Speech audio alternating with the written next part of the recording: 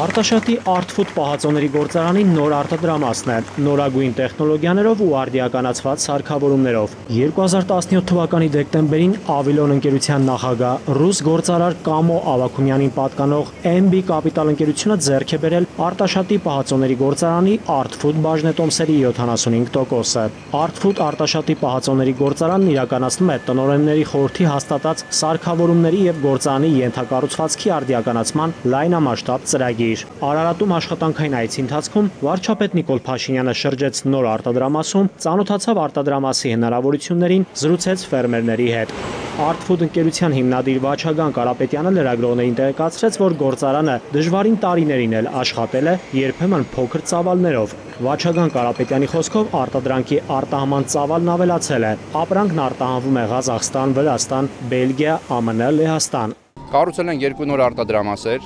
որոնք մեզ թույլ են տալիս արդիականացնել արդիականացնել տեխնոլոգիաները, ավելացնել հզորությունները եւ ավտոմատացնել process-ները։ Այս տարի Artfood ընկերությունը արդիականացման համար ներդրել է 3.5 միլիոն դոլար։ Շահագործման է հանձնվել լոլիկի վերամշակման համար նախատեսված իտալական առաջատար Cavalieri սարքավորումը։ Այս տեխնոլոգիան եզակի է եւ արտոնագրված է։ Իր տեսակի մեջ միակ հոսքագիծն է ԵԱՏՄ-ում։ Գործարանի արդիականացումը նպաստում է գործարանի ավտոմատացմանը, արտադրանքի ծավալի եւ տեսականու մեծացմանը, արտադրանքի որակի բարձրացմանը։ Artfood-ի նոր արտադրամասի շնորհիվ Արարատի մարզում կավելանան մրգի եւ բանջարեղենի արտադրության եւ մթերման ծավալները։